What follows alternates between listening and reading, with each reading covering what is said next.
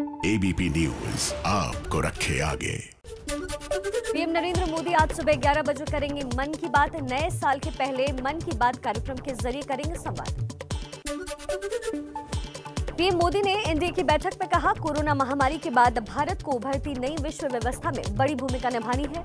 वसुदेव कुटुंबकम के मंत्र पर आगे बढ़ना है। देश में कोरोना महामारी के खिलाफ जारी है मुहिम। अब तक सैंतीस लाख छह हज़ार से ज़्यादा लोगों को कोरोना का टीका लगा दिया गया है। देश में 31 जनवरी से शुरू हो रही है पल्स पोलियो की मुहिम। 2 फरवरी तक 5 साल तक के बच्चों को पिलाई जाएगी पोलियो ड्रॉप्स। बिहार के आरा में युवक की पीट पीट कर सनसनीखेज हत्या। दो गुटों में छज्जा तोड़ने को लेकर हुआ था पूरा विवाद। बरेली पुलिस ने दो दिन पहले पेड़ से लटके मिले दो शव की गुत्थी सुलझाई। झूठी शान की खातिर हुई थी प्रेमी युगल की हत्या। लड़की के पिता, भाई, चचेरे भाई और चाचा समेत पाँच गिरफ़्तार। यूपी के अमरोहा में एक अनोखा मामला सामने आया। शादी के 24 घंटे बाद ही दुल्हन को छोड़कर दूल्हा हुआ गायब। परिजनों ने शिकायत दर्ज करवाई। एमपी के शिवपुरी पुलिस के हाथ चढ़ा एटीएम से पैसे चुराने वाला गैंग। लुटेरी इंजीनियर और दो युवक गिरफ़्तार किए गए। एटीएम से रुपए निकालने में मदद के नाम पर बदल लेते थे कार्ड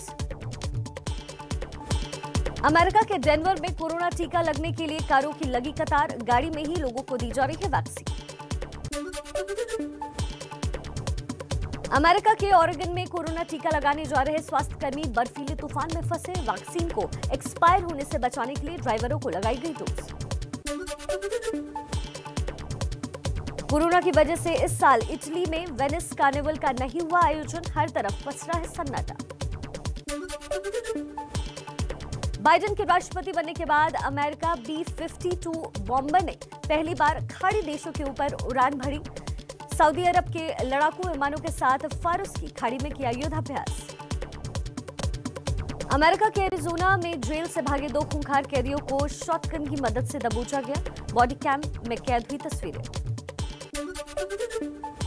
रूस के समारा प्रांत में ट्रक और मिनी बस की भीषण टक्कर। 12 लोगों की मौत, बर्फीली सड़क पर फिसलन की वजह से हुआ हादसा। अमेरिका के न्यू जर्सी के रिसाइकलिंग प्लांट में लगी भीषण आग, कई किलोमीटर पर हुआ काला धुआँ छाया। हादसे में कोई भी हताहत नहीं। दक्षिण अमेरिकी देश चिली में कोविड अस्पताल में लगी भीषण आग। साढ़े तीन सौ मरीजों को सुरक्षित बचाया गया। पड़ोसी देश म्यांमार में प्रधानमंत्री आंग सान सूकी के खिलाफ सेना समर्थित दलों का प्रदर्शन। सेना की तरफ़ से दी गई है तख्ता पलट की धमकी। बांग्लादेश की सरकार ने रोहिंग्या शरणार्थियों के लिए समंदर में बसाया नया शहर। कॉक्स बाज़ार से नए द्वीप पर शरणार्थियों को ले जाने का काम शुरू किया गया। चीन ने तीसरी पीढ़ी के पहले परमाणु रिएक्टर से बिजली उत्पादन शुरू किया है। 10 लाख लोगों के घरों को रोशन करने का दावा। यूरोपीय देश पोलैंड में गर्भपात बैन करने पर बवाल। कानून के खिलाफ सड़कों पर उतरी हज़ारों महिलाएँ। अमेरिका के न्यू जर्सी के अम्यूजमेंट पार्क में लगी भीषण आग। अभी तक किसी के जख्मी होने की कोई खबर नहीं। ब्राज़ील के फोर्टालेजा में स्टेडियम में लगी भीषण आग। धुएँ से कई लोगों की तबियत बिगड़ी। इसी स्टेडियम में 2014 में वर्ल्ड कप गेम्स का आयोजन भी हुआ था। विराट कोहली ने ऑस्ट्रेलियाई बल्लेबाज डेविड वार्नर की बेटी को गिफ्ट की अपनी टेस्ट जर्सी। कोहली की बहुत बड़ी फ़ैन है वार्नर की बेटी। बीसीसीआई के सचिव जय शाह बने। एशियाई क्रिकेट परिषद के सबसे युवा अध्यक्ष गृह मंत्री अमित शाह के बेटे हैं जय शाह। स्टेडियम में फिर लौटेगी रौनक। सरकार ने शर्तों के साथ दर्शकों की फुल एंट्री को मंजूरी दे दी है। पहले एशियन ऑनलाइन शूटिंग चैंपियनशिप में भारतीय खिलाड़ी का धमाल। आठ में से चार गोल्ड मेडल जीते। दो सिल्वर और पाँच ब्रॉन्ज मेडल समेत कुल ग्यारह पदक पर किया कब्जा। आईसीसी टेस्ट रैंकिंग के टॉप टेन में भारत के तीन बल्लेबाज शामिल। कोहली चौथे, पुजारा छठे और अजिंक्य रहाणे की आठवें नंबर पर बढ़त। परिणीति चोपड़ा की film the girl on the train 26 फरवरी को नेटफ्लिक्स पर रिलीज़ होने वाली है। फ़िल्म में शराबी महिला का किरदार निभाएँगी परिणीति।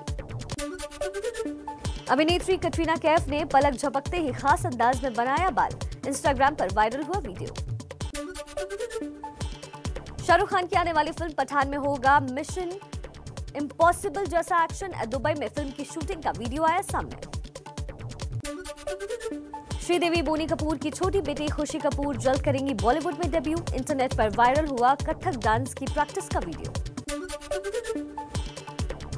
डायना पर बन रही नई फ़िल्म स्पेंसर का फ़र्स्ट लुक सामने आया। फ़िल्म में हॉलीवुड एक्ट्रेस क्रिस्टिन स्टीवर्ट निभा रही हैं। डायना का किरदार। कश्मीर घाटी में बर्फबारी देखने भारी संख्या में पहुँच रहे हैं सैलानी। श्रीनगर, गुलमर्ग, सोनमर्ग, पटनी टॉप से उमड़ी भीड़। राजस्थान के फतेहपुर शेखावटी में सर्दी का सितम। पाँच दिन में चौथी बार पारा शून्य से नीचे लुढ़का। कल रात तापमान माइनस एक दशमलव दो डिग्री सेल्सियस रहा। पहाड़ों पर जमी बर्फ़ की वजह से उत्तर भारत के मैदानी इलाकों में आज भी बहेगी बर्फीली हवाएँ। यूपी में कोहरे से हो सकती है मुश्किलें।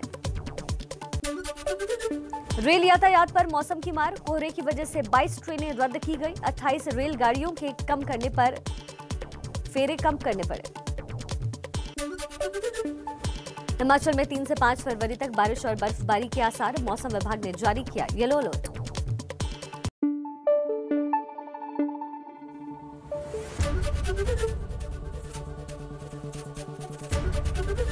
एबीपी न्यूज़ आपको रखे आगे।